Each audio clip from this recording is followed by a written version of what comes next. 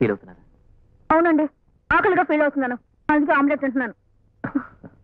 దేశంలో ఉన్న ఎనభై కోట్ల మందిలాగా మీరు బతకాలని మీ అక్కగారి కోరిక.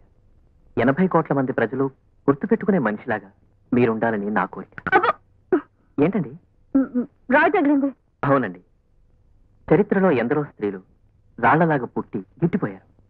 కానీ రత్నాల్లాగా గుర్తున్నది మాత్రం ఝాన్సీ లక్ష్మి రుద్రమదేవి. ఇద్దరే.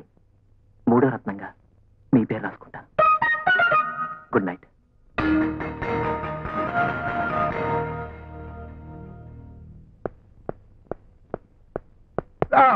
ఎలా ఉంది బాబు? కాదు నువ్వు చెయ్యకు. అసలు సరిగాడివి లేకపోతే ఏంటి సరేశ్వరరావు కుర్చీ మీద పడ్డాడు. మే గుచ్చుకుంది. మేక?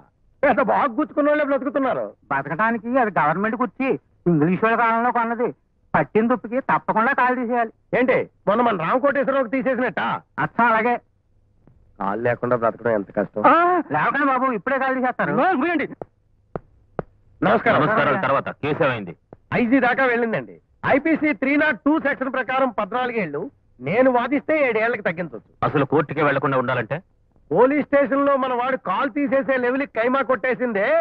ఆ, ఆవిడ విత్డ్రా చేసుకోవాలి. అవ్వా ఇంత బతుకు బతికిన అయ్యగారిని ఆ సందులు గొంతులు తిరిగి ఇంటికెళ్ళి ఆ పిలకాలు పెట్టుకోమంటారా చిన్న పావునైనా పెద్ద కర్రతో కొట్టమన్నారయ్యా నాలాంటి మేధావులు నేను ఆ పావుని పెద్ద కర్రతోనే కొడతా. ఘల్, ఘల్, ఘల్, ఘల్,